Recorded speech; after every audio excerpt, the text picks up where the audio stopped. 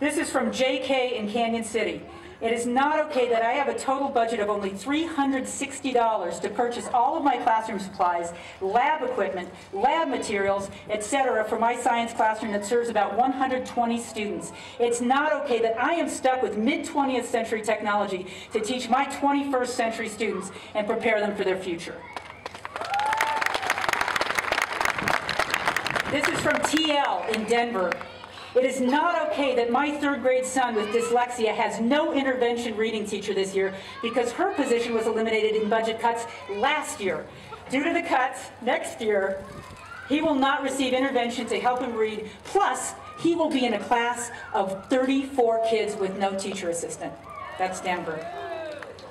It's, you're not alone. It's all over the state. This is DS in Idaho Springs. Where do we cut? No buses, no Spanish, no French, no school nurse, no PE, no woodshop, class sizes approaching 30 in all required classes, or maybe no sports.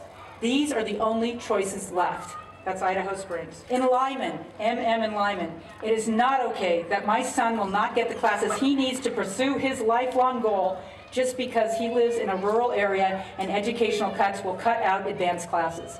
There are kids all across the state that can't go to college, that can't take the courses necessary for them to go to college.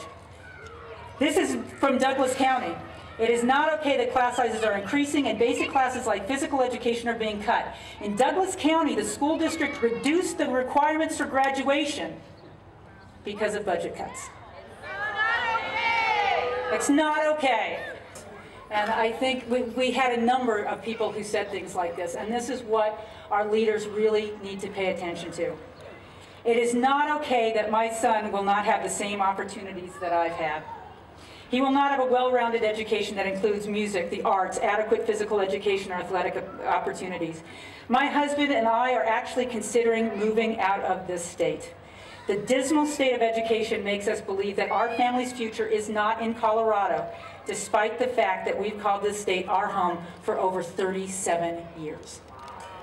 It's not